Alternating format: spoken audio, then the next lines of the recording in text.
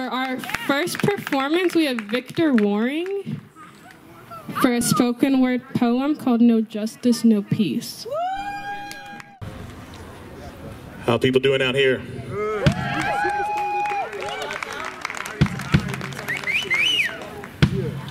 It is hot. And it has nothing to do with the weather. These are hot times. So before I say this piece of poetry, I want to bring just a little bit of nuance to this particular day, to, to this particular Juneteenth, and let you all know that on January 1st, 1863, the Emancipation, Emancipation Proclamation was first put forth to the American people by the Union, freeing the slaves. On May 9th, 1865, the Civil War ended. And on June 19th, 1865, the Union Army, led by a general, Union general, went to the state of Texas to say to the state of Texas, you need to free your slaves. And it took that for freedom to happen. And I, I, say this because it's nuanced, because that is a really powerful metaphor for how justice works in America. Heels are dragged, resistance happens. And until force comes in to say, you have to do this, oftentimes there's not a will or a desire to do it. Tell the people of Texas, months after the war has ended, you're free. So I just wanted to add that nuance to this day. America's foot dragging when it comes to justice. Because it's still happening.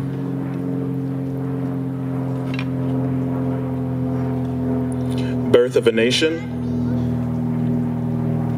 Inhale. Exhale. Inhale. Exhale. Our lungs are here. You can't stop us from breathing. Something is coming, something is laboring, something is crowning, something is entering. Perhaps this is the birth of a nation. You know these words no justice, no peace. No justice, no peace. It is simple, really, but deeper than it seems no justice, no peace. It isn't really a threat of violence though it may be. It isn't necessarily a promise of action, though probably. It, it's mostly a statement of reality. There can be no peace when there is no justice, no justice, no peace. We do not live in a peaceful nation. We do not live in a peaceful nation. We do not live in a peaceful nation. We do not live in a peaceful nation. Before this latest round of killings, we were not at peace. Before this latest president, we were not at peace. When Breonna Taylor slept and died in her bed, there was no peace. When Philando Castile reached for his registration, that was not peace. When Amadou Diallo matched the general description, he felt no peace. When the Central Park Five languished in jail, that was no peace. When Anita Hill faced the scorn of angry white men, that was not peace. When Emmett Till was sunk deep into the waters of the Tallahatchie, when the Scottsboro boys fought for their lives, when the, when the gloom grew thick over Tulsa, that was not peace. When the founders of this country insisted in word and in deed that there was not going to be justice, they created the conditions alive today of no peace. And so today, even when the streets are quiet and the people are indoors, there is no peace. When there are no megaphones and marches and police lines, there is no peace. Calm and somnolence are not peace. The heavy sleep of white supremacy is not peace. Injustice is the baseline up in this peace, and therefore there is no peace, no justice. No, justice. No what they consider peace is a sleeping, slick facade of peace for those in privilege and power to have comfortable, well regulated lives. It is a sickly peace maintained by the tension and attack of armies and police, gates and walls, of red line neighborhoods and gerrymandered districts, of prisons and underfunded schools, of over friendly, cloying smiles by well meaning, spiritually bypassed progressives, contradicted by lead lined pipes that suck the cognitive abilities and life choices from the promising minds and bodies of black and brown babies. This is not justice. Therefore, there is no peace. To create peace, it will not come from dominating protesters, protesters or vilifying football players who kneel on the fields of play. It will not come from demonizing the strangled and choking the oppressed.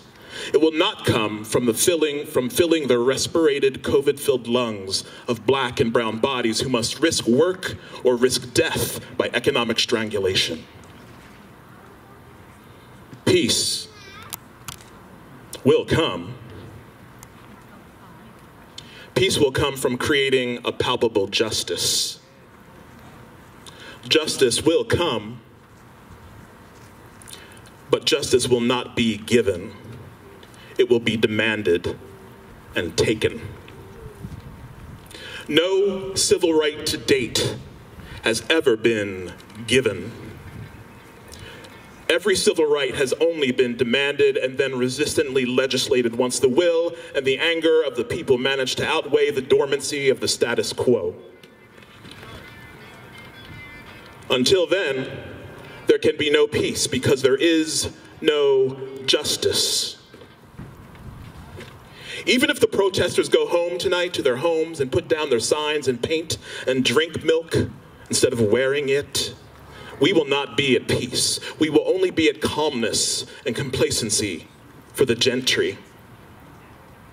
But now the veils are moving. Covidity is eroding civility. The band-aids are being pulled from angry skin, and the founding wounds that have never healed are showing through again angry and red and moving with fight and fervor.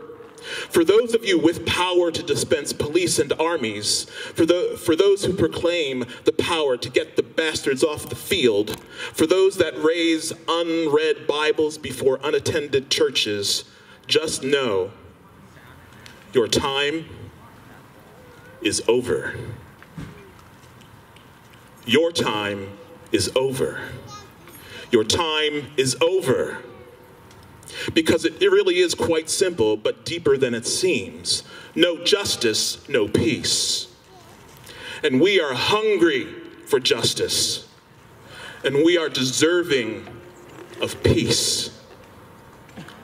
The real peace. The breathing peace.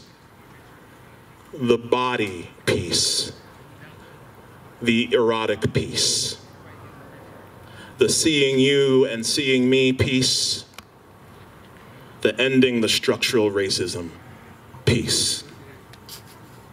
And like a woman giving birth raw and open, and nothing else matters but the safe entry of her child into the world, and fuck you if you stand in the way, we are no longer interested in your peace. We are not interested in your peace. We are making peace. We are making peace. Inhale. Exhale. Inhale. Exhale. You can't stop us from breathing.